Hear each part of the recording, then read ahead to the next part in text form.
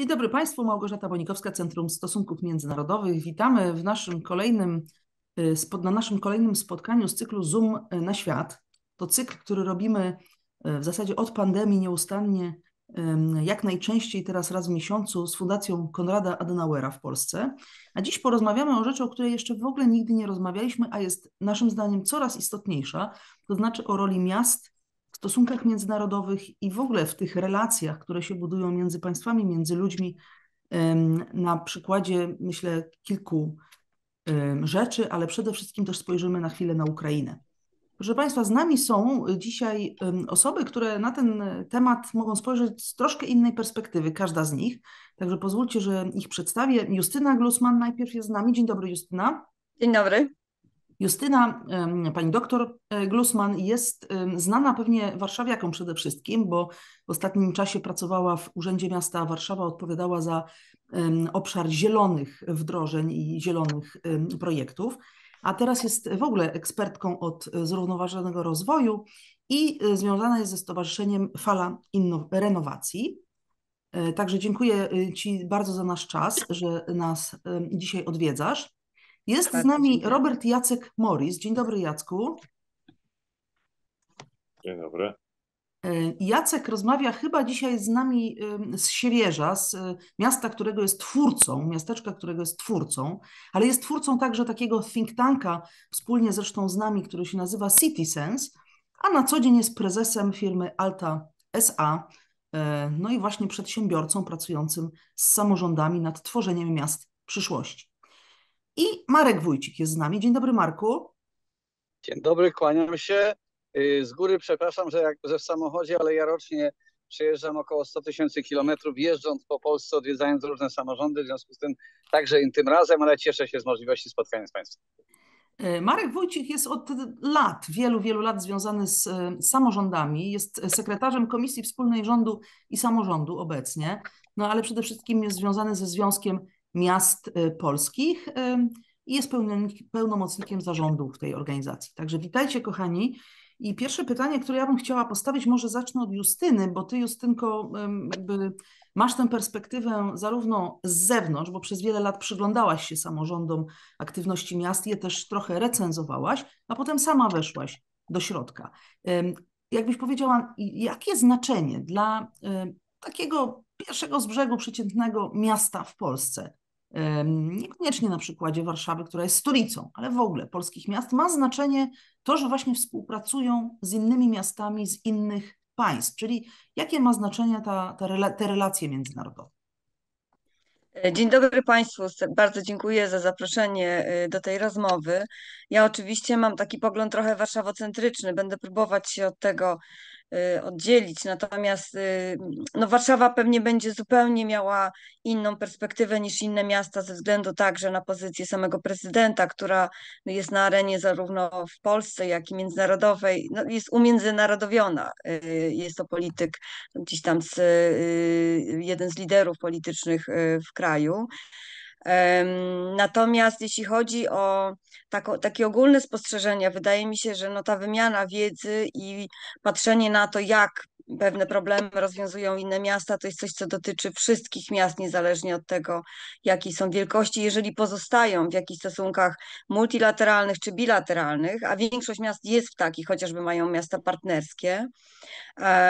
Jakiś czas temu, jak się ukazała książka Barbera, Gdyby burmistrzowie rządzili światem, gdzie on opisuje tą wzrastającą rolę burmistrzów, wydawało mi się, że no to jest przesada, że, że to jest taka wizja, która no jest zbyt y, daleko idąca. Niemniej wydaje mi się, że COVID na przykład y, to był taki moment, w którym te sieci miast y, zaczęły funkcjonować zupełnie inaczej. Znaczy, ja w Warszawie przynajmniej doświadczyłam tego, że mamy bardzo intensywne relacje z, innymi, z innymi właśnie miastami, wymieniając się tutaj doświadczeniami i tym, jak działać wobec tych wyzwań, które wszystkich e, doświadczają.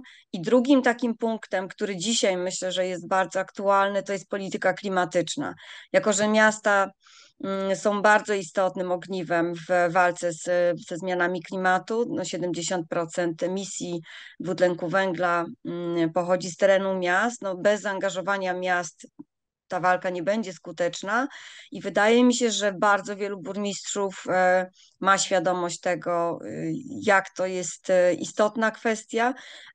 Także dlatego, że oczywiście społeczeństwo wymaga od nich jakiejś aktywnej postawy i tutaj jest bardzo wiele przestrzeni, takich płaszczyzn porozumienia. No w Unii Europejskiej cały program Net Zero Cities i tak dalej, które dają możliwość włączenia się i e, no, w realizacji takich polityk i projektów, które będą przybliżać te miasta no z takiej koncepcji zrównoważonego rozwoju. Czyli proszę Państwa, dużo się dzieje na poziomie miast. My na, e, na co dzień tak nie myślimy, że tutaj jest, wiadomo, że polityka zagraniczna to jest prerogatywa państw i tylko państw, ale jednak miasta i regiony prowadzą właśnie relacje międzynarodowe i to bardzo intensywne, zwłaszcza sfokusowane na wymianę doświadczeń, o czym mówiłaś Justynko. E, Marku, Ciebie chciałam zapytać właśnie również, no w sumie o to samo, ale z perspektywy zwłaszcza no, tej takiej ogólnopolskiej. Związek Miast Polskich przy okazji może trochę powiedz więcej o tej organizacji i też o tej skali właśnie relacji międzynarodowych polskich miast. Zrzeszamy 300, Związek Miast Polskich to jest organizacja, która zrzesza 354 miasta e, i to są miasta mniejsze i te największe e, i jesteśmy dojrzałą organizacją która ma powyżej 100 lat. Działaliśmy także w okresie międzywojennym. Natomiast e, ja patrzę na to troszeczkę inaczej niż przed chwilą mówiła Justyna. Otóż po pierwsze benchmarking, tu pełna zgoda, tak? To benchmarking jest absolutną przyszłością. To jest coś, co zadomowiło się także w przypadku zarządzania dużymi miastami, czy w ogóle miastami. I to jest oczywiste, że uczymy się w ten sposób i szukamy najlepszych praktyk po to, żeby zagwarantować rozwój, wysoką jakość usług, w naszych miastach. To jest sprawa pierwsza i dlatego sięgamy po te międzynarodowe doświadczenia. Ale jest druga kwestia, która, którą trzeba powiedzieć wprost. Otóż e, ze względu na rolę samorządów terytorialnych, a szczególnie obszarów funkcjonalnych, to nie pojedyncze miasta, ale obszar funkcjonalny, e, udział nasz w przedsięwzięciach dotyczących współpracy międzynarodowej trzeba zrewidować. Ja, ja rozumiem, że są takie dwa elementy, które zawsze strona rządowa wyrzuca z siebie, a więc polityka międzynarodowa, obronność to jest domena państwa, tak? domena administracji rządowej.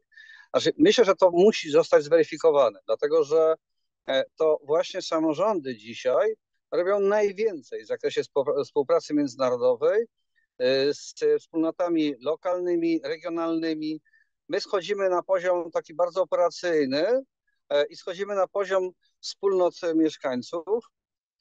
I e, tu e, wiele doświadczeń wskazuje na to, że jak, jako pokorny przedstawiciel samorządów terytorialnych stwierdzę, że w tej chwili samorządy dla kooperacji międzynarodowej robią najwięcej. I dlatego wydaje się, że powinniśmy zrewidować tą teorię, że polityka międzynarodowa zastrzeżona jest tylko wyłącznie dla rządów, Owszem, one muszą przes przesądzać w niektórych kwestiach, tworzyć pewne standardy, pewne rozwiązania prawne, ale to my wypełniamy je treścią, dlatego domagamy się do aby nieco inaczej ukształtować teraz te relacje i rolę samorządu terytorialnego we współpracy międzynarodowej. Myśmy w pewnym opracowaniu dla Polskiego Ministerstwa Spraw Zagranicznych już jakiś czas temu mówili o trochę takiej orkiestrze, jeżeli chodzi o politykę międzynarodową, że nie robią to tylko urzędnicy w gmachu Ministerstwa Spraw Zagranicznych, nie tylko rząd, tylko właśnie to jest taki wielogłos na wiele instrumentów, gdzie e, samorządy można być może porównać do pierwszych skrzypiec. Ja bym jeszcze chciała, Marku, Ciebie poprosić o być może jakieś przykłady właśnie takich, e, takiego wejścia samorządu w ten obszar międzynarodowy. No, no to ja nie będę oryginalny.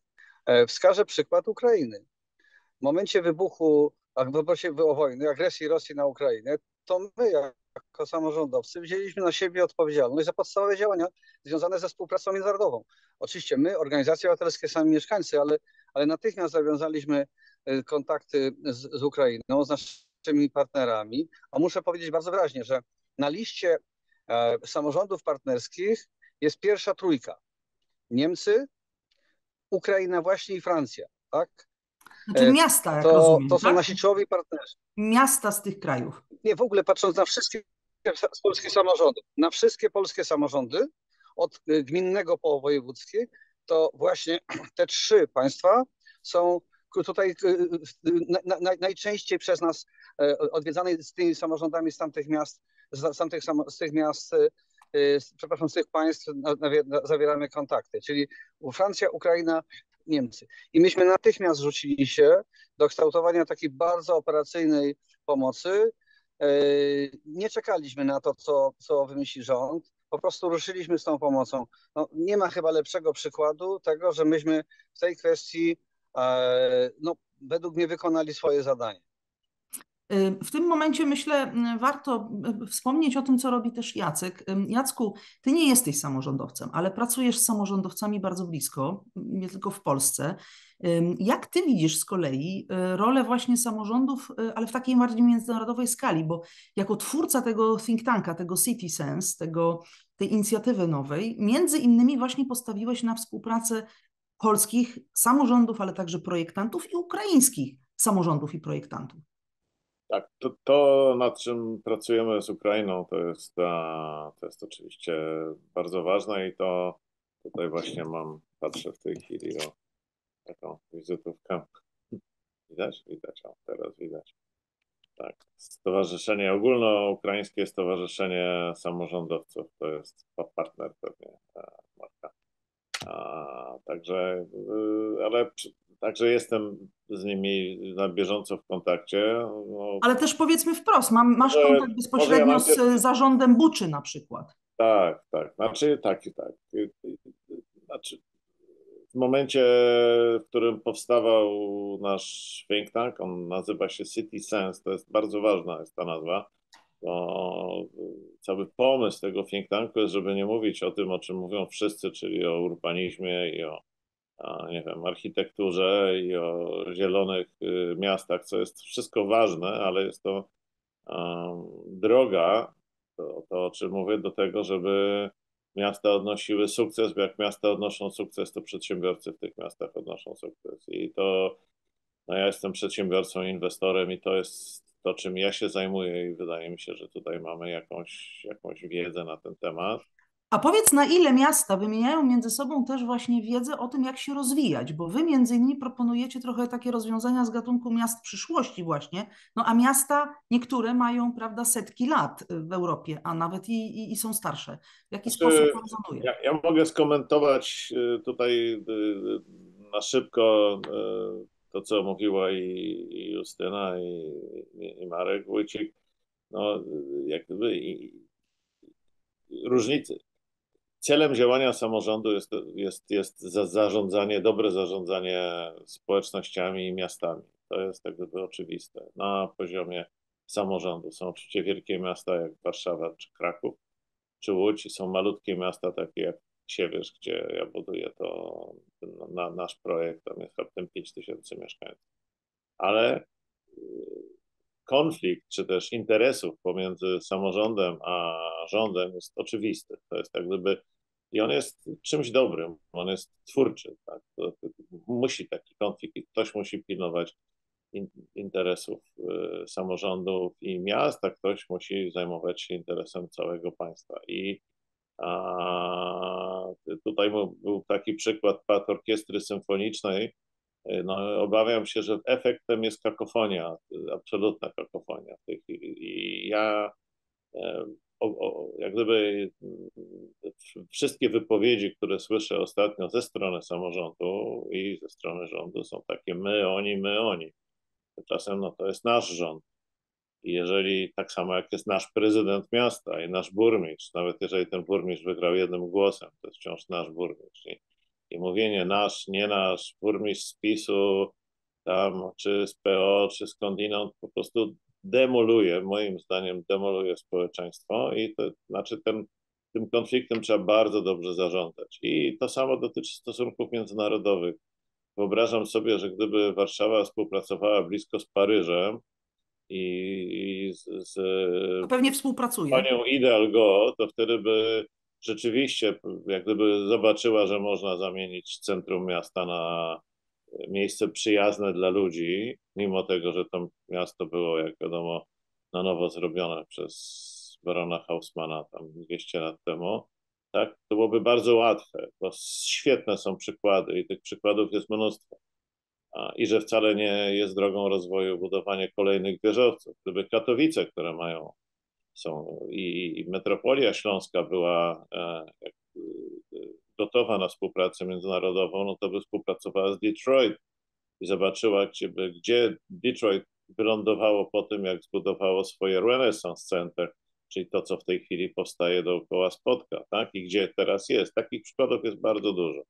Jak rozumiem, tutaj y, Twoja uwaga dotyczy tego, że co prawda być może współpraca jest, ale ona jakaś jest taka mało efektywna, jeśli chodzi o benchmarki, o których z kolei mówił Marek, a też Justyna, że są kluczowe. Jeżeli, tak, moja uwaga, jeżeli pozwolisz, ona mówi o tym, że moim zdaniem, jako przedsiębiorcy, ta współpraca dotyczy nie tych stref, które, którymi samorządy przede wszystkim powinny się zajmować. Jak gdyby mówiąc w języku biznesu, nie za to biorą pieniądze, tak, samorządy, żeby tworzyć politykę międzynarodową, tylko za to, żeby uczyć się i uczyć innych, jak najlepiej zarządzać miastami i co robić, żeby mieszkańcy byli zadowoleni, biznesy się rozwijały i tak dalej. Tak jest moje zdanie. To może pozwólmy w takim razie adwocem, Justyna, a potem Marek, odnieście się proszę do tego. Ja myślę, że to, co powiedzieliśmy, w ogóle nie jest sprzeczne, czyli ja się skoncentrowałam na takich przykładach zadań yy, i problemów, które miasta rozwiązują i podejmując te decyzje o rozwiązaniach, szukają najlepszych gdzieś tam za granicą i patrzą na inne miasta. No a Jacek mówi raczej o takim ogólny, o trendach, które e, zaczynają dominować w tym świecie, do którego pewnie dążymy, Paryż, Londyn, e, Nowy Jork, które jeszcze się u nas nie przyjęły. No i tutaj nie chciałabym recenzować moich byłych prze, przełożonych, ale prawda jest taka, że rzeczywiście patrząc się na szczegóły, y, ten ogólny obraz nam zanika, albo brakuje nam odwagi, albo nie studiujemy jako miasta, znaczy nie mamy takich studiów przypadku, nie patrzymy na to, jak się robi te duże polityki, które powodują, że społeczeństwa nie oponują takim zmianom, które wprowadza Hidalgo czy, czy Kan, ale wręcz no, im przyklaskują i któryś raz ci przywódcy wygrywają wybory lokalne i to bez specjalnych problemów, a wydawałoby się, że mm, no, te polityki, które realizują, no, nie predestynują ich akurat y, do takiego kierunku. Ja a zaraz więc do ciebie wrócę. Ta lekcja jest jakby do odrobienia jeszcze. Bo ja jeszcze chciałam Marka poprosić o komentarz bez, bezpośredni do słów Jacka. Y, bardzo dziękuję, bo to bardzo istotny moment naszej dyskusji uważam. Otóż ja po pierwsze stanę w obronie polskich samorządów, dlatego że ja proszę, żeby, proszę, żebyśmy traktowali ten benchmarking nie jednokierunkowo. To nie jest tak, że tylko my się uczymy od innych, że nasze samorządy korzystają z doświadczeń innych y, samorządów e, za, granic, za granicą. E, to także działa w drugą stronę i my mamy doskonałe doświadczenia, doskonałe rozwiązania, które warto, żeby z nich korzystały także korzystali nasi partnerzy. E, ale chciałem powiedzieć o, o tym, wziąć udział w tym momencie w tej dyskusji, dlatego że moim zdaniem hmm, my mamy, jeżeli chodzi o politykę międzynarodową, to my wypełniamy ją treścią, a tu się powtarzam, tak? Ale zawsze istnieje pytanie, czy ktoś to buduje od góry, czy ktoś to odbuduje od dołu. My mamy w Polsce, nie poza obszarem polityki międzynarodowej, takie rozwiązania, w którym jak, jak nie ma planu gry, nie wiadomo, w którą stronę idziemy, nie ma takiej strategii długookresowej, to tą pustkę ktoś wypełnia. E, jeżeli my nie wiemy, jaki jest stosunek do, do jaki, jaki, jaki mamy mieć relacje z określonymi państwami, to my je wypełniamy, tak? E, tak się zresztą działo, działo przez lata. Znów wrócę do tej Ukrainy, bo to jest taki dobry przykład nie tylko z racji wojny, tak? E, myśmy e, sięgali tu po współpracę bardzo dawno temu, chociaż nie, nie było przejrzystego, jednolitego jednolitej decyzji, jak zachować się do Bliskiego Wschodu. Tak? Zobaczcie Państwo teraz kwestię Chin. Tak, no, tak naprawdę, czy, czy, czy myśmy rozstrzygnęli, jaki będzie nasz stosunek do Chin, czy my w tym kontekście geopolitycznej walki w skali makro mówimy, ok, Ameryka, Chiny, kto jest nam bliższy? A my w samorządach, widząc co się dzieje, z, z tymi Chińczykami współpracujemy y, na ogromną skalę. Tak? Więc jeżeli nie ma decyzji z, y, z góry, to, to my, my, to wypełniamy. Jeszcze jedna, y, jedna kwestia, bo podam dwa przykłady. E, Cieszyn polski i czeski, Zgorzelec i Gorlic, tak? E, więc to są przygraniczne miasta i tam, drodzy Państwo, bez względu na to, co się dzieje, w skali makro, my wypełniamy tą treścią, współpracujemy tam, tworzymy pewne rozwiązania, kooperujemy, niejako, niejako obok tego, co się dzieje. Mógłbym podawać przykłady i wcale nie uważam to za złe, tak? E, to, to oczywiste. I ostatnia rzecz. My chcemy współpracować ze stroną rządową, tworzymy wspólną administrację. Tu nie ma tego my i oni. Ja nawet broniąc samorządów powiem, to nie my tworzymy bariery, to nie my budujemy mosty e, w tej kwestii. To nie z naszej strony jest inicjatywa dzielenia ludzi, my raczej staramy się łączyć. No, przypomnę Państwu, Marek jest e, sekretarzem Komisji Wspólnej Rządu i Samorządu. Także Jacku, być może na pogłębioną też rozmowę, ale jeszcze wrócę, wracając do Justyny, bo Ty mówiłaś o tej polityce klimatycznej, która teraz jest rzeczywiście takim wyzwaniem globalnym e, numer jeden e, światowym. E, o tym się mówiło dużo teraz w Davos, o tym się mówi od lat. E, ty za to byłaś też odpowiedzialna, za te zielone wątki w mieście. Mogłabyś nam podać po prostu kilka przykładów z tego, jak Warszawa, stolica Polski, rzeczywiście miasto specjalne w naszej skali, bo najbardziej umiędzynarodowiane e, z, z definicji. Co tak naprawdę się dzieje w tej przestrzeni międzynarodowej, w tym obszarze? Przede wszystkim jest kilka bardzo mocnych organizacji, są międzynarodowych albo takich sieciujących miasta i to są albo mniejsze organizacje, takie bardziej elitarne. Tutaj miasto należy Warszawa do e, C40 Cities. To jest taka mm, sieć największych metropolii świata, około 100 jest członkami, które mają bardzo ambitny plan klimatyczny. I na czym to polega? Tutaj jakby zostały przydzielone budżety węglowe do poszczególnych miast to jest jakby to, poszczególne miasta dostały po prostu limit, który mogą wykorzystać i zaproponowały same ścieżkę dojścia do net zero, czyli zeroemisyjności i co dwa lata raportują, w jaki sposób e, osiągają e, te wyniki. To jest taka organizacja, która w najbardziej konkretny sposób, w moim przekonaniu, podchodzi do walki ze zmianami klimatycznymi. Ale jest jeszcze bardzo wiele innych, Covenant of Mayors, e, bardzo dużo jest organizacji, które zajmują się tą tematyką. Czyli konwent burmistrzów, tak? Kom, tak, konwent burmistrzów przede wszystkim ujednolicając mm, metodologię pomiaru na przykład emisji, bo tak, żebyśmy wszyscy mogli jakby mieli porównywalne dane start, mogli startować z jednego mm, punktu. No i tutaj jeśli chodzi o Warszawę, na pewno to my się jednak mamy, y, więcej możemy nauczyć od innych miast, gdyż oczywiście na poziomie deklaracji mm, no, ta polityka jest spójna z, z tym, co deklarują te organizacje, na poziomie realizacji już trochę mniej, bo to są, pamiętajmy, ogromne wyzwania, które wymagają nie tylko środków, bo też nie chciałabym się skupiać na finansowaniu, to jest odrębna, oczywiście ogromna dyskusja, jak wyglądają finanse samorządów dzisiaj i co rząd z nimi zrobił, natomiast y, tutaj potrzebny jest po prostu holistyczny plan, potrzebne jest przełamanie silosów wewnątrz samorządu, potrzebne jest zarządzanie tym projektem w sposób profesjonalny, no i tutaj rzeczywiście mamy jeszcze bardzo, bardzo wiele do zrobienia. Czyli jak rozumiem, może... najpierw te benchmarki, jakby wymiana informacji w ogóle pomiędzy miastami, to jest jednak jakiś wiodący wątek, wzajemne takie trochę douczanie się, podpatrywanie. Natomiast już jeżeli chodzi o potem wdrażanie, to już jest różnie, jak rozumiem. Powiem tak, powinniśmy się nauczyć przede wszystkim pisać dokumenty strategiczne.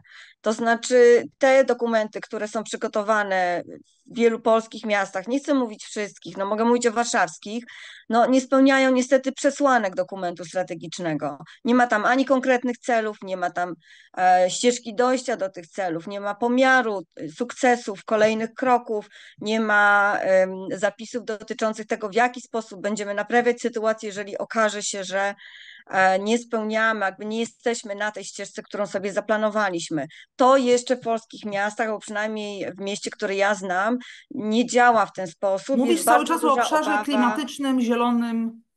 W tak, obszarze klimatycznym to jest bardzo proste. Mamy, znaczy proste i skomplikowane. Mamy cel obniżyć emisję CO2. Warszawa zadeklarowała, że do 2030 roku obniży te emisje o 40%, a do 2050 roku będzie miała 0%. Warszawa przygotowała mm, jeszcze za moich czasów i tutaj korzystając, bardzo dobry przykład tej współpracy z ekspertyzy C40 Cities, ale także przy pomocy środków Europejskiego Banku Odbudowy i Rozwoju, przygotowaliśmy pełną inwentaryzację emisji, czyli wiemy skąd te emisje pochodzą, a więc też jakie obszary należy zaadresować, co należy zrobić, aby je obniżyć. Jakby jest wiedza naukowa na ten temat, są ograniczenia, jak powiedziałam, organizacyjne, w administracji, finansowe i różnego rodzaju. Natomiast co trzeba zrobić, e, wiadomo. Tylko problem jest taki, że nie jesteśmy na tej ścieżce dojścia do tych celów. Dobrze, ale teraz ponieważ my się y, koncentrujemy na tych relacjach międzynarodowych, to na ile na przykład w takim procesie pomagają rzeczywiście y, wzorce czy podpowiedzi z innych miast? Bo rozumiem, że ty stawiasz mhm. tezę, że jest to mało wykorzystywane to, co ja stawiam tezę, że ta wiedza jest niewystarczająco wykorzystywana, ponieważ no, miałam też okazję zagłębić się w dokumentację taką strategiczną innych miast, tych z podobnej strefy klimatu, bo wiadomo, że to będą dla nas najbardziej adekwatne przykłady.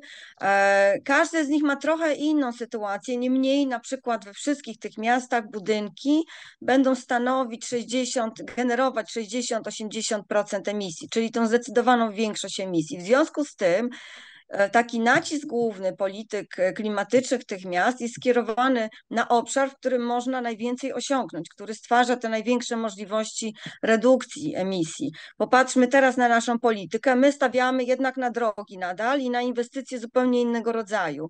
Czyli jakby no, wydaje się, że tu się rozmija trochę polityka inwestycyjna z tymi deklaracjami, z deklarowaną polityką klimatyczną. I to musimy Aczkolwiek w obronie Warszawy muszę powiedzieć, że widzimy jako mieszkańcy Warszawy, że jednak jest pewna redukcja przestrzeni drogowej na rzecz y, parków, y, skwerów i tak dalej. Ale no tak, teraz... budowaliśmy dwa przejścia w centrum w ciągu pięciu lat. tej dyskusji przez ten wątek. Wrócę teraz do Jacka i troszeczkę z innej strony chciałam Ciebie zapytać, bo tutaj y, y, mówiliśmy o Ukrainie. Chciałabym, żebyś troszkę więcej powiedział y, na temat tego, jak można by w ramach myślenia, teraz wszyscy o tym myślą, o odbudowie Ukrainy, jak wojna się zakończy, jak można by zbudować taką współpracę pomiędzy na przykład samorządami polskimi, ale tylko, podejrzewam, że też z y, innych państw Europy, wy wymienialiście tutaj Francję i Niemcy jako te kraje, z których najwięcej tej współpracy mamy, i samorządowcami z Ukrainy właśnie nad odbudową ich miast, zwłaszcza takich właśnie średniej wielkości, chociażby na przykładzie Buczy możemy to powiedzieć. Przepraszam, tak zastanowiłem się, to jest, to jest niebywale trudne pytanie. E, niebywale trudne dlatego, że polskie miasta w znacznej części są odbudowanymi miastami po II wojnie światowej i również w znacznej części one są odbudowane źle.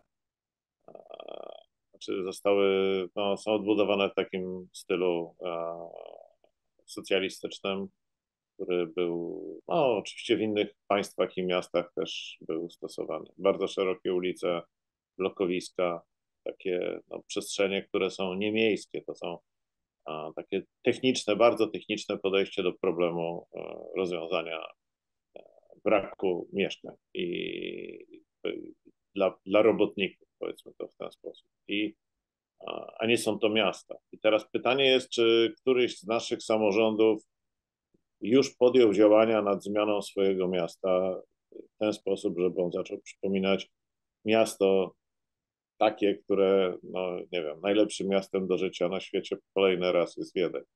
Tak, czy rzeczywiście patrzymy na Wiedeń jako na wzór, uczymy się, wyciągamy wnioski i no to jest bardzo trudne pytanie, bo ja nie widzę takich działań w Polsce, co nie znaczy, że one nie są konieczne. A jak się definiuje najlepsze na, do życia miasta? Jakie tam kryteria wchodzą w grę? No, kryteria wchodzą takie codzienne, no, z, z, z, zadowolenie zadowolenie mieszkańców liczone w bardzo długim kwestionariuszu, który obejmuje dostępność e, w zakresie spaceru, e, zaopatrzenia, szkół, przedszkoli, e, transport do miejsca pracy, codzienną wygodę życia. No, to tak, ale również przedsiębiorców. Tak? Czy przedsiębiorcy są zadowoleni, czy sklepy są dochodowe, czy mieszkańcy w wynajętych mieszkaniach są bezpieczni, tak? To znaczy ciągle są pokazywane ostatnio takie mapy, gdzie w Niemczech 41% y, ludzi, obywateli mieszka w wynajętych mieszkaniach, a to nie jest połączone z taką samą mapą regulacje dotyczące bezpieczeństwa ludzi mieszkających w wynajętych mieszkaniach okresowo, tak, państwowe.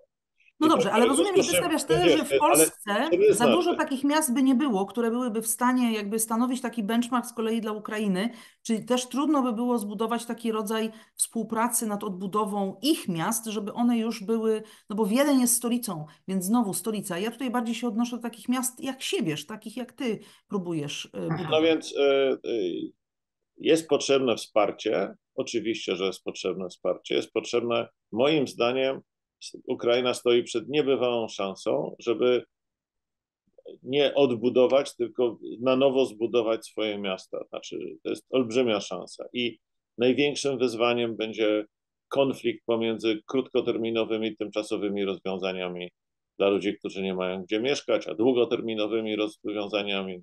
Taki problem będzie, który my w Polsce przeżywamy też, czyli utrzymanie ludności, ściągnięcie z powrotem emigracji, tak? To, są, to, to są super trudne zadania. I oczywiście, oczywiście oni potrzebują pomocy, szczególnie, że e, z mojej pracy, która już trwa prawie rok w tej chwili, wynika, że jednak wszystkie decyzje na Ukrainie były do tej pory dosyć mocno scentralizowane. Dopiero rząd Zeleńskiego rozdysponował te e, jak gdyby uprawnienia do regionów, co ostatnio zostało niestety odwrócone, zdaje się będę w Lwowie w środę na dużej konferencji, to się dużo więcej dowiem na ten temat. I oczywiście największym wyzwaniem dla Ukrainy jest to, żeby już w tej chwili rozpocząć projektowanie i, i rysowanie, a przede wszystkim publiczną dyskusję. Tak, to jest jak gdyby najważniejsza jest publiczna dyskusja z ludnością, z tymi y, mieszkańcami na temat tego, jak ma wyglądać przyszłe miasto, jak ma wyglądać Mariupol, jak będzie wyglądała Bucza właśnie, w co my się bardzo mocno włączamy. Powstała y, organizacja, taka kolaboracja y, urbanistów, architektów, działaczy e, Rozkwit ukraińska, gdzie ponad 80% uczestników to są Ukraińcy. E, my jako City Sense ich wspieramy, pracujemy razem z nimi, wspieramy ich również finansowo. No i naszym największym doświadczeniem, moim osobistym i, i, i mojego zespołu i, i, urbanistów, z którymi pracujemy, jest umiejętność wywołania publicznej dyskusji i, umożliwienia, umożliwienia mieszkańcom e, przyszłym, obecnym, sąsiadom w wielu projektach w Polsce, które zrobiliśmy, e, uczestnictwa w, e, w dyskusji i wpływania na przyszły kształt ich miast w sposób taki prawdziwy, a nie poprzez stoisko na ulicy, gdzie siedzi jakaś znudzona dziewczyna ze znudzonym kolegą, patrząc w telefon i to jest publiczna dyskusja nad przyszłym kształtem marszałkowskim. Tak? Proszę Państwa, postawmy na razie, Jacku, tu kropkę, bo ja bym chciała jeszcze Marka zapytać właśnie. Tak, jestem, jestem, dlatego, że chciałem prosić o głos w tym momencie, dlatego, że, e, że ja uważam, że to nie jest tak, że, że my nie potrafimy wykorzystać różnych doświadczeń i nie budujemy tych miast inaczej. E, ja zresztą podam konkretne przykłady, ale rozpocznę od 15, Paryż 15 minut. Tak, ta kwestia, my w wielu miastach dzisiaj, większych i mniejszych, e, korzystamy już z tego doświadczenia i próbujemy e, budować dostęp do podstawowych usług i tak konstruować przestrzeń, żeby dostęp do tych podstawowych usług był nawet krótszy niż te 15 minut. To, to doświadczenie francuskie, paryskie e, tu stanowi podstawę do wielu przedsięwzięć e, w miastach. No, oczywiście Polacy chcieliby, żeby to nie było 15 minut, tylko nawet 5, tak, ale, ale to po pierwsze korzystamy. Po drugie... Powiedzmy może o co e, chodzi, bo nie wszyscy mogą wiedzieć, to jest koncepcja... Chodzi o to, chodzi o to, to jest taka koncepcja, która przewiduje, że w zakresie podstawowych usług typu edukacja, zdrowie, praca, mieszkanie, żeby to wszystko koncentrowało się w, w przestrzeni, do której mamy dostęp w ciągu kwadransa. Tak? A więc e, kiedyś, no to już sporo czasu minęło, kilkadziesiąt lat temu, zarządzający Paryżem e, postanowili, że w ten sposób będą kształtowali tę przestrzeń. I to dostęp bez samochodu, bez auta. Zupełnie inaczej tylko... Tak, tak, tak. Taki bezpośredni, gdzie nie trzeba korzystać z transportu zbiorowego czy indywidualnego. E, I to jest cudowna idea, którą my powielamy w wielu polskich miastach. E, to po pierwsze. Po drugie, e, rzeczywiście staramy się budować tą przestrzeń, a planowanie przestrzeni jest kluczowe dla przyszłości polskich miast. to i, i kwestia demograficzna, ale z tą przestrzenią przede wszystkim musimy sobie dać radę, bo po pierwsze będziemy musieli schodzić w pionie, w dół, coraz więcej wykorzystywać przestrzeń także pod ziemią. Jedyny kraj w Europie, na świecie, przepraszam, który w tej chwili traktuje kwestię własności nieruchomości e, nie od środka Ziemi do, do, do, do, do kosmosu, to Japonia. Tam mam działkę, która jest moja do 40 metrów głębokości. Będziemy schodzili w dół, ale nie chcę się w to zagłębiać, tylko powiem o tym, że nie wiem, Katowice, Rzeszów, Gdynia, ale także mniejsze miejscowości, Polkowice budują zupełnie nową przestrzeń. Ja sobie nieco żartuję, że nowy stary rynek budują. Terespol, Gmina Wiejska Terespol. Zobaczcie Państwo, y, Bóg, podmokłe tereny, znaleźli kawałek miejsca, gdzie jest trochę wyżej, gdzie jest bezpiecznie i właściwie budują y, y, nowe miasto, nowe otoczenie. To jest gmina wiejska, więc właściwie budują nowy Terespol. Bardzo mądrze to zaplanowano. E, to niejako się dzieje od nowa. To jest, e, wymieniam ten przykład, bo e, jest przy samej granicy z Białorusią.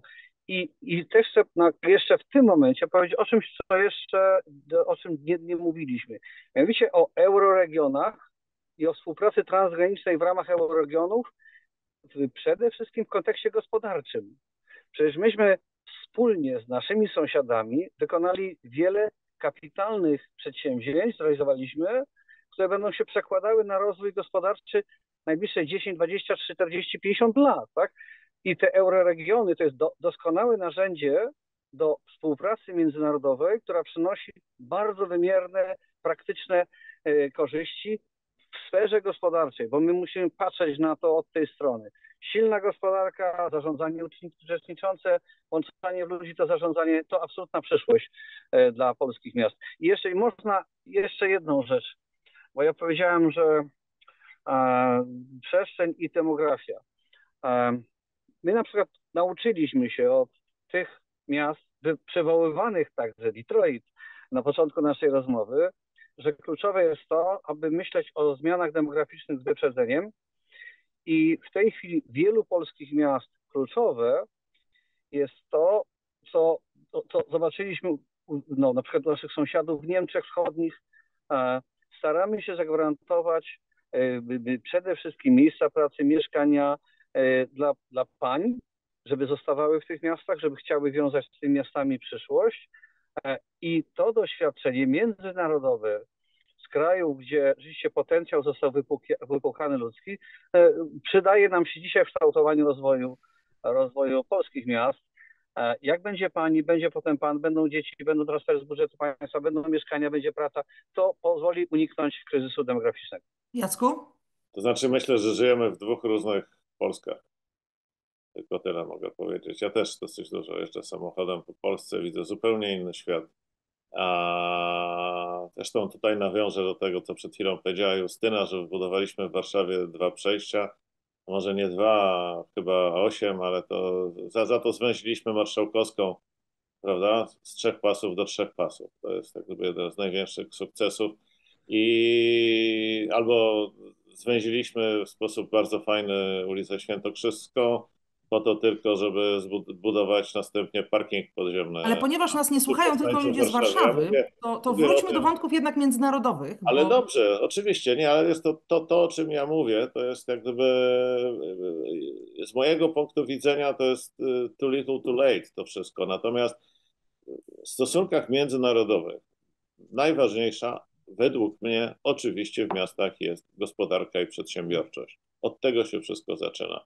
Jeżeli przedsiębiorcy odnoszą sukces, to mieszkańcy dobrze zarabiają, mają pieniądze na kupowanie i wynajmowanie mieszkań i na wydawanie pieniędzy w sklepach i tak dalej, i tak. Jeżeli tworzy się społeczeństwo dzięki dobrze zaprojektowanej przestrzeni, tak, to wtedy społeczeństwo się czuje bezpiecznie, chętniej wydaje pieniądze. Tak? Jeżeli ludzie są, czują się bezpiecznie, chętnie się rozmnażają. To jest oczywiste. Tak wszystko na koniec to się wszystko przekłada na, na, na jak gdyby bogactwo czy tam e, wartość takiego miasta. Miasto odnosi sukces. I teraz w związku z czym, w związku z tym dla miasta najważniejsze powinno być, żeby było atrakcyjne dla inwestorów. I tu oczywiście stosunki międzynarodowe są numer jeden, tak? bo jednak pieniądze, szczególnie w nieruchomościach, przypływają z zagranicy, a nawet jeżeli nie z zagranicy, to decyzje na ten temat są podejmowane we Frankfurcie, w Londynie i w Nowym Jorku. Tak? To są takie trzy miejsca, no może ostatnio trochę też y, w krajach Bliskiego Wschodu. To Czyli rozumiem, że nie tylko kraj, ale też miasta, miejsca powinny być widoczne na mapie tak. świata w różnych miejscach, tak. zwłaszcza tam, gdzie są duże pieniądze, duże inwestycje. Masz rację. I teraz mówimy o miastach. Miasta, na przykład na Śląsku, największe miasto regionu, ma 290 tysięcy mieszkańców, bo właśnie mu spadło i wyleciało z pierwszej dziesiątki w, e, w Polsce nawet. Tak, Białystok jest większy. Natomiast Functional Urban Area, o której mówiła Justyna przed chwilą, to jest w ogóle jednym z najważniejszych terminów w Unii Europejskiej, jest jednym z największych w Europie tak, funkcjonalnych terenów miejskich, która sięga po Strawę, Bielsko, e, Chrzanów, tak, według niektórych definicji łączy się z Krakowem. To jest, słuchajcie, centrum Polski. Mieszka w tej, y, nie licząc Krakowa i Chrzanowa, ale licząc Częstochową, prawie 6 milionów ludzi niebywale atrakcyjne miejsce inwestycyjne. E, on wykracza poza granice metropolii śląsko-zagłębiowskiej oczywiście. W żaden sposób świat o tym nie ma zielonego pojęcia. Tak? Na, w raportach rynkowych nie występuje. Mamy Trójmiasto, mamy Wrocław, mamy mm, Łódź, które są znakomicie mniejsze. Mamy Warszawę, która jest też mniejsza bo y, obszar funkcjonalny warszawski jest tam mniej więcej o pół miliona mieszkańców y, mniej zaludniony niż y, tutaj obszar Śląska, nie występuje. Tak? I to jest na przykład coś takiego, czym oczywiście miasta przede wszystkim powinny się zajmować, tak? czyli być atrakcyjnym dla inwestorów, mówić, patrzcie, u nas jest, ale razem, razem, tak, wszyscy. No, tymczasem występuje konkurencja. No, ostatnio takim przykładem przykładem tego, co można zrobić w zakresie stosunków międzynarodowych nie na przestrzeni politycznej, tylko w przestrzeni gospodarczej i co można, jak gdyby taki sygnał, dzwon alarmowy, z którym zresztą pokazałem to e, zarządowi metropolii e, śląskiej o Zagłębiowskiej, ona tak się oficjalnie nazywa, to trudna nazwa jest bardzo. E, artykuł w Monocle, to jest taki opiniotwórczy magazyn miesięczny dla mieszkańców miast, artykuł o tym, jak to małe miasto Katowice e, działa dużo bardziej niż by na to wskazywała, wskazywał jego rozmiar, bo zorganizowali World Urban Forum u siebie i w ogóle ludzie tam dolecieli przesiadając się w Krakowie i autobusami jeździli Bóg wie skąd, żeby tam dojechać. To taki pozytywny w wypowiedzi, ale jednocześnie małe miasto Katowice. No małe miasto Katowice. Po prostu to jest coś, co jest to jak gdyby absolutnym nieporozumieniem. I to jest Czyli poruszyłeś też wątek tak naprawdę stosunków międzynarodowych, już przepraszam Małgorzata. Narracji, ale też ja promocji. Ja bym chciał, żeby się miasta tym zajęły. Okay? Justyna.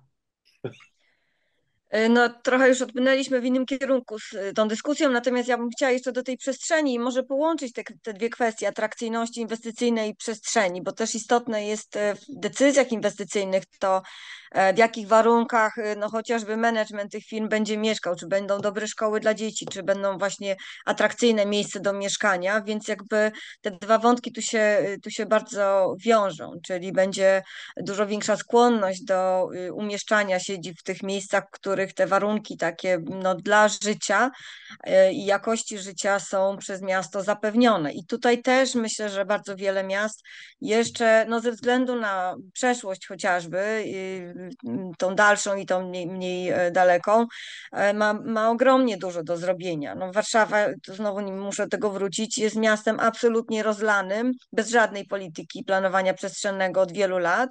To jest po prostu taki wol, wol, free flow, no, można by powiedzieć powiedzieć, co o, oczywiście oznacza bardzo wiele negatywnych konsekwencji, bo to dzisiaj są zarówno ogromne koszty utrzymania miasta, czyli dociągnięcia chociażby infrastruktury liniowej, społecznej, e, transportu i tak no ale też z, pod, obniża y, atrakcyjność tego miasta. No, także, no i emisję CO2, czyli. A odnieś miast... się proszę jeszcze do tych wątków mhm. międzynarodowych, czyli jak Warszawa z kolei opowiada o sobie na zewnątrz, w jaki sposób y, y, buduje swoją markę. W Warszawie jest dużo łatwiej, bo jako stolica kraju no, przedstawia się jako, jako miasto, które jest kluczowe. Ja uważam, że Warszawa się nie docenia przede wszystkim a, i nie stawia warunków inwestorom tak, jak powinna stawiać, dlatego że obawia się, iż zostanie, będzie postrzegana w sposób jako mniej atrakcyjna niż jest. Natomiast miasto rzeczywiście Warszawa ma, no, predestynuje do tego, żeby być w jednym rzędzie, stać z Londynem, e, Wiedniem już wspomnianym, Berlinem i tak dalej. Jest nieporównywalne do innych miast e, e, w Polsce. To jest tak naprawdę małe państwo i tak się też powinno zachowywać, a nie, nie, nie zawsze jakby gra w tę grę na, na odpowiednim poziomie. To jest Ze moja... na skalę, na, na budżet. Na... Ma skalę, ma budżet, ma mieszkańców, ma potencjał intelektualny, y, ma jako jedyne miasto, Nie wiem, popraw mnie, y, dwucyfrowy budżet, to jest ponad 20 mm, miliardów, jest tyle co Malta, tyle co e, kraje bałtyckie. Więc... 20 miliardów złotych ponad 20 miliardów złotych w tej chwili e, i, i powinno miasto w ten sposób się zachowywać, znaczy wykorzystywać te wszystkie możliwości, ale jak wspomniałam, nie wykorzystuje ich częściowo nie tylko przez swoją własną politykę, ale nie prowadząc tej polityki wewnętrznej, czyli nie rozwijając się w sposób zrównoważony, tylko pozwalając na taki no, dynamiczny rozrost w różnych nieprzewidzianych kierunkach, ponosząc ogromne koszty i zaniedbując tym samym e, centrum, zaniedbując, czyli przyczyn po prostu finansowych. Nie, nie, nie, nie wystarcza środków na to, aby spowodować, że centrum będzie bardziej atrakcyjne. I widzimy, jakie są skutki. Bardzo się wyludniają dzielnice centralne w Warszawie, i to wszystkie, które tworzyły gminę centrum do niedawna, e, powodując oczywiście no, jeszcze większe rozlanie się miasta i większe korki i wszystkie problemy związane z tym. Więc miasto traci na atrakcyjności, a nie ma żadnego powodu, żeby tak się Dobrze, działo. Ale to kończąc teraz już rozmowę na temat Warszawy jako takiej, Marku, Ciebie chciałam się poprosić po pierwsze, żebyś się odniósł do tego, co Justyna mówiła, ale też y, powiedział nam, y, bo już będziemy powoli naszą dyskusję puentować, jak Ty widzisz y, miejsce na przyszłość polskich y, miast w tych właśnie w tym budowaniu współpracy międzynarodowej z innymi, zarówno tymi, którzy są w Unii, bo tutaj wspominałeś i o euroregionach, Justyna mówiła o różnych też y, organizacjach miast, ale też w kontekście globalnym, tak? Na ile polskie miasta mogą i wychodzą y, bardzo, bardzo daleko. Tak, ja oczywiście odniosę się jeszcze do tych kwestii, które wcześniej stawały, bo my nie żyjemy w różnych, w różnych państwach. Natomiast ja, ja wiem, że nie da się wszystkiego zrobić naraz. Nie da się od razu tak strzelić z palcy i zrealizować wszystkie pomysły, szczególnie w kontekście budowania przestrzeni. Doskonale Państwo o tym wiecie, że to są setki lat. E, cudowny Wrocław, kapitalnie zaplanowana przestrzeń, w kontekście przede wszystkim zieleni, nie ma chyba takiego drugiego miasta w Polsce, to kilkaset lat pracy. Mądrych ludzi, którym się udawało e, rozsądnie konstruować tą przestrzeń, Niestety, jak Państwo wiecie, po, po II wojnie światowej mieliśmy świadome działania niszczące przestrzeń, prawda? No więc trudno teraz e, byłoby wyburzać te e, dziesiątki, setki e, budynków, które powstawały w takich miejscach i, i, i w, w, takiej konstrukcji, w takim, w takim planie miejscowym, którego dzisiaj w życiu byśmy nie zrealizowali.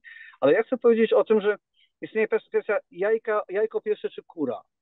Bo my mówimy o tym, że miasta nie realizują pewnych przedsięwzięć e, o charakterze promocyjnym na zewnątrz, międzynarodowym. Ale drodzy Państwo, naprawdę przede wszystkim w tej kwestii muszę przerzucić tu piłkę na stronę administracji rządowej. No, my możemy robić cuda, żeby ściągnąć inwestora, ale on, my, te miasta nie żyją w oderwanej przestrzeni, nie są wyspą jest pewna polityka podatkowa, która dotyczy wszystkich, całej Polski, tak? Jest kwestia na przykład pomocy publicznej udzielanej lub nie dla potencjalnych inwestorów. Są grunty nie nasze komunalne, ale Skarbu Państwa, których nie możemy sięgnąć. One są idealne byłyby do konstruowania kolejnych przedsięwzięć infrastrukturalnych inwestycji, tak? Natomiast to nie jest nasz obszar. My próbujemy się o, o, o to do, dopominać, próbujemy przejmować i dozbrajać, a potem E, stwarzać szansę na, na budowę jakby stref przemysłowych, gospodarczych. No tyle tylko, że, że niestety, ale to zależy od administracji rządowej. Tak? Musimy się w związku z tym, i tutaj wracam, bo zadałaś pytanie o przyszłość, według mnie musimy niestety zweryfikować dotychczasową strategię, jeśli chodzi o politykę międzynarodową, rolę samorządów, ale także musimy wiedzieć, czego chcemy. Ja nie wiem, czego chcemy. Tak? Jasne, że polityka międzynarodowa oznacza konieczność różnych kompromisów. No, z dnia na dzień zmienia się sytuacja, ale w sferze wewnętrznej, wynikających z zewnętrznych uwarunkowań, to powinniśmy wiedzieć, czego my chcemy. Tak? Bo jeżeli my, dla nas kluczowe będzie to, żeby na przykład, nie wiem, w kontekście rozwoju, rozwoju zrównoważonego e, pozwalać na to, żeby, żeby nie było ogromnych różnic, tak jak teraz. Pojawiają się coraz większe e, kontrasty e, w różnych częściach Polski i albo ratujemy te wypukiwane z potencjału społecznego, gospodarczego miejsca, pozwalając na to, żeby, żeby tu korzystać ze wsparcia międzynarodowego, mówimy, wpuszczamy obcy kapitał lub nie. A my, no, to nie my samorządowcy jesteśmy potem ofiarą tego, że, te, że, że niektóre kapitały traktowane są jako B, a niektóre jako cacy. To pytanie I, do Justyny od razu w tym momencie. Justynko, ty wymieniłaś książkę Benjamina Barbera. Ja ją przywołam, bo jest rzeczywiście bardzo ciekawa i chyba przełomowa, kilkanaście lat temu opublikowana. Gdyby burmistrzowie zarządzali światem. Ona wyszła też w języku polskim. Serdecznie Państwa namawiamy do sięgnięcia, bo to jest ciekawa koncepcja mówiąca o tym, że w perspektywie lat w XXI wieku to właśnie y, prezydenci miast, to zwłaszcza samorządowcy, mogą przejąć na siebie dużą część zarządzania już nie tylko swoją przestrzenią i nawet nie w kraju, tylko wręcz w przestrzeni globalnej, właśnie światowej. Na ile ty uważasz, że to, jest, to nie jest utopia, tylko to może się zrealizować po twoich doświadczeniach pracy w samorządzie? No właśnie, jak już wspomniałam, e, wydawało mi się kiedyś, że to jest utopia zdecydowanie. Natomiast patrząc z tej perspektywy wewnętrznej na to, jak to zarządy miast, ale też być może trzeba je rozszerzyć na większych obszarów funkcjonalnych, o których tu mówiliśmy, rozwiązują te podstawowe problemy i problemy też globalne, no takie jak COVID-19, bo to miasta musiały zapewnić tak naprawdę szpitale, opiekę medyczną, e, procedury, jakby gro obowiązków walki z pandemią spadło na dostarczycieli usług publicznych, a ponieważ tymi dostarczycielami, jak już Marek wspomniał, są samorządy w większej części, no to one zaczęły naturalnie odgrywać dużo większą rolę, także polityczną. I zdaje się, że no, to wychodzi lepiej na poziomie samorządów. Samorządy są dzisiaj bliżej i, i pewnie zawsze były, natomiast mogą wykorzystać te role w większym zakresie, bliżej ludzi, bliżej problemów.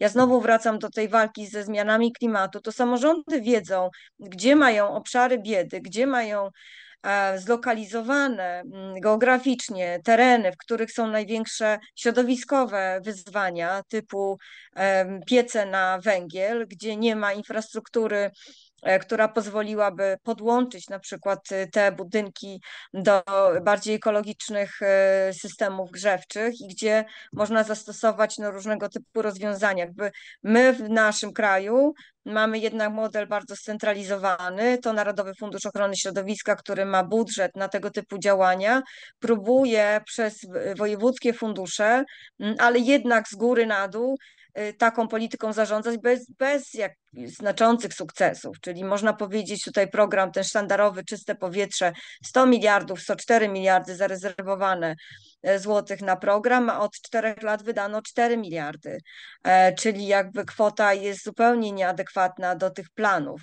I wydaje mi się, że głównym problemem w tym przypadku jest brak odpowiedniej współpracy z samorządami, brak chęci dzielenia się projektem, powiedzmy, bo tutaj jest rzeczywiście pewnie taka myśl polityczna, kto będzie ojcem tego sukcesu, jak on już się wydarzy, ale y, dzięki temu, że tej współpracy zabrakło, no to sukcesu też y, trochę zabrakło. Więc ja widziałabym na pewno większą rolę samorządów w tego typu kwestiach, w rozwiązywaniu tych kwestii, bo nikt ich nie zastąpi, nikt nie ma takiej wiedzy o tym, co się dzieje. Natomiast jeśli chodzi o samą politykę międzynarodową, no to tak, no jest bardzo wiele wymienionych tu już ciekawych, słusznych przykładów, ale w dalszym ciągu nie nauczyliśmy się działać systemowo, czyli nie nauczyliśmy się jako samorządy funkcjonować według standardu tworzenia polityk publicznych, które y, w innych państwach pewnie, które miały no, więcej czasu też na, na naukę,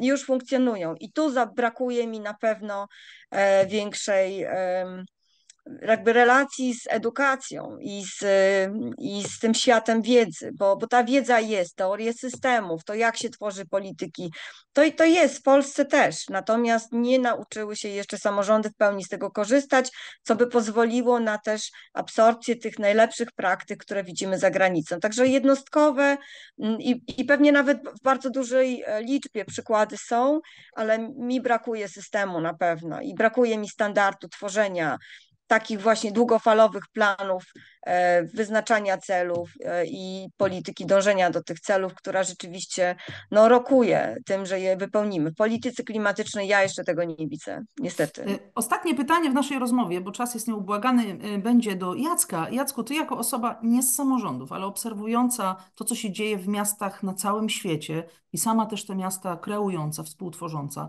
Krótko, jakbyś miał powiedzieć, jak dla Ciebie y, y, optymalnie mogłoby wyglądać umieszczenie samorządów właśnie w tej bardzo skomplikowanej międzynarodowej mozaice. Czy one powinny rządzić, czy one powinny współgrać, czy one powinny jakoś bardziej wychodzić y, za granicę, czy też trzeba jednak najpierw budować tą współpracę z rządem w poszczególnych krajach.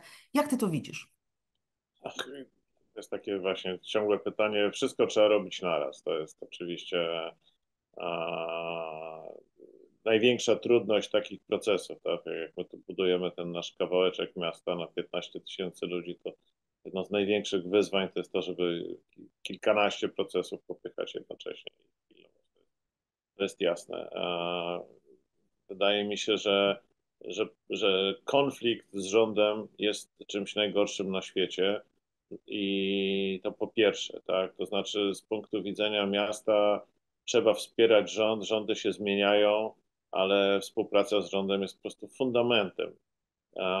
I, i, i to, to tyle. I jasne wyznaczenie celów w miastach i, i na, jak gdyby i poszukiwanie wzorów i współpraca z innymi wielkimi miastami jest w ogóle fundament, fundamentalna, dlatego że jak gdyby no, największą trudnością, znaczy najpierw trzeba sobie powiedzieć, są, mamy jakieś cele w mieście. Ja na przykład sobie wyobrażam, że takim najważniejszym celem dla, dla zarządu miasta powinno być e, stworzenie strategii, tak jak Justyna powiedziała, ale strategii takiej, wiesz, bardzo jak gdyby e, sfokusowanej na takim celu.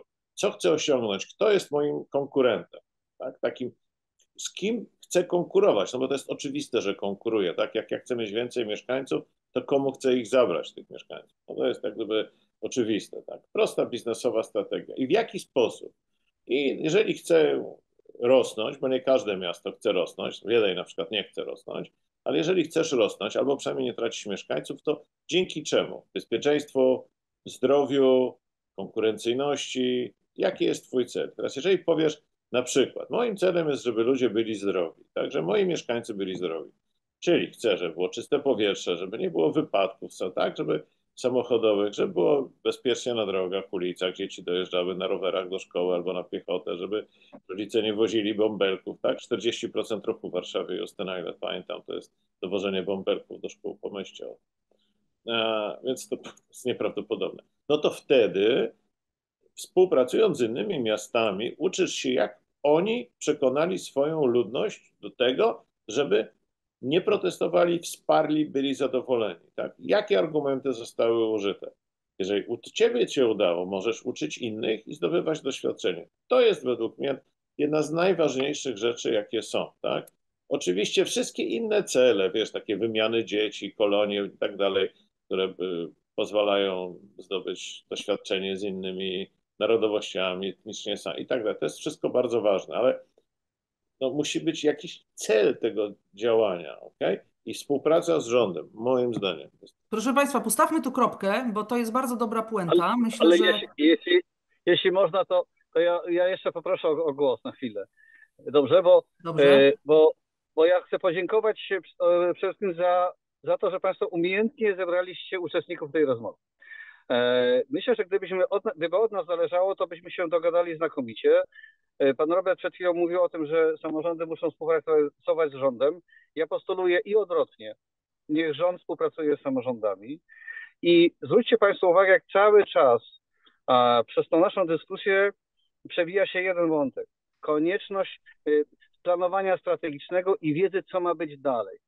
Bo my chcemy wiedzieć w samorządach, co mam zrobić, kiedy ja mam z Poznania bliżej do Berlina niż do Warszawy, z Krakowa bliżej do Wiednia niż do Warszawy. Co ja mam zrobić, jak moim jedynym pomysłem na życie na Podlasiu, na Lubelszczyźnie jest współpraca transgraniczna. Co ja mam zrobić z perspektywy długookresowej w tych samorządach? Dlatego y, potrzebne jest zrewidowanie roli samorządów w realizacji przedsięwzięć międzynarodowych, polityce międzynarodowej. Bardzo dziękuję za ten komentarz. Ja tylko dodam, że my staramy się w ramach Centrum Stosunków Międzynarodowych popularyzować, przynajmniej jeśli chodzi o samorządy z krajów Unii Europejskiej, najciekawsze przykłady ich aktywności, ciekawych, innowacyjnych projektów w ramach konkursu innowacji w politykach publicznych, robionego co roku. Jesteśmy przedstawicielem Instytutu Innowacji Politycznych, właśnie którego siedziba jest w Wiedniu. Jesteśmy przedstawicielem na Polskę i kraje bałtyckie. Wszystkich Państwa zapraszamy na galę, która się odbędzie 11 maja tego roku w Warszawie gdzie będą finaliści, będzie można dowiedzieć się o projektach, które zwyciężają właśnie za zeszły rok w tym konkursie. Bardzo Państwu dziękuję za tę rozmowę. Przypomnę, pani doktor Justyna Glusman była z nami. Dziękuję Ci bardzo. Dziękuję Justyna. bardzo. E, Marek Wójcik ze Związku Miast, Miast Polskich. Dziękuję Marku. Dziękuję pięknie. Wszystkim Państwu życzę dużo zdrowia i optymizmu. I Jacek Robert Moritz z Alta SA, ale także twórca, współtwórca E, inicjatywy City Sense, a więc miasta przyszłości robione z sensem.